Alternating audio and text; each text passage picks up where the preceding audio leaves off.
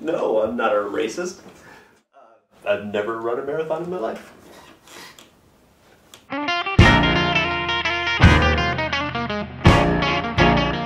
Hey gang, Travis here. It's not Monday. Uh, I actually did a Monday vlog and uh, it was kind of like blah, low energy. It was late Monday and so I decided it wasn't worth it. I didn't want to bore you guys. So uh, I'm actually also reneging on my vow to not do any scripted videos this month because here I am filming one for you and it'll go up uh, before the end of the week. So I uh, hope you enjoy that. And I think what I'll probably do is do other videos uh, during the month too in addition to the vlogs, which I'll still do. But um, I'll probably give you some of the Acme videos that I'm not in but uh, either edited or filmed or both. So at least you'll have something new to watch uh, while I'm uh, off writing uh, new stuff. I actually have something to talk about today. Uh, last week's video, the affirmative action video, had some very interesting, unexpected reactions, I think. Uh, I actually was accused of having um, a video with racist undertones in it. And I thought that was very interesting. But moreover, the, the thing that actually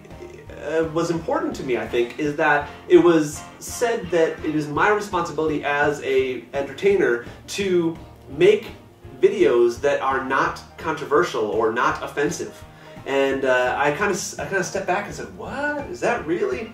Um, no, I don't think so. Because uh, in the end, I think comedy is there, and, and one of the best uses of comedy is to shine a light on things that are uncomfortable and help us kind of laugh about them.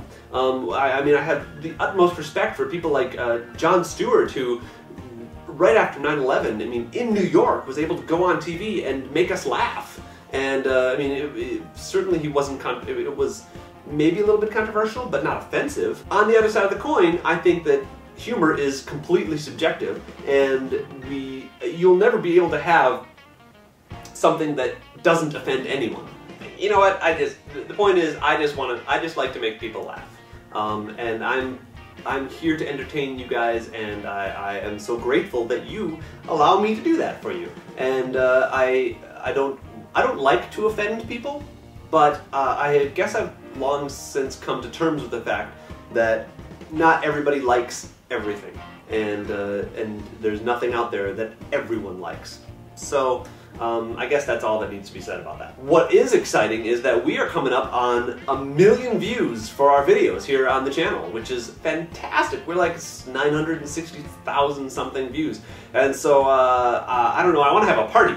I don't know how I could do that for people, but uh, you know, at the very least, um, I think I'm going to be going to VidCon, so I will be seeing you guys uh, there if you're going to come out in LA in July, and we can uh, we can have a party then. I think I just realized how ridiculous I look doing this vlog in the suit. This last weekend, uh, me and Rob went to uh, play Capture the Flag at a park in LA, and it was the most fun I've had in years, and I'm so completely sore uh, afterwards. I mean, I just I could barely move the next day. Um, so I want to ask you, what, is, what are your favorite games to play outdoors? Uh, video gamers, I'll ask you something later on in the year. I need to, I need your help too. But uh, what is your favorite game to play outside? Okay, I'm flustered from being in a suit and being feeling naked. Um, I will talk to you guys next week, I promise. And uh, uh, until then, have a wonderful week and enjoy uh, the video that I'm going to put up for you. Uh, it's a Superman video, obviously. All right, take care.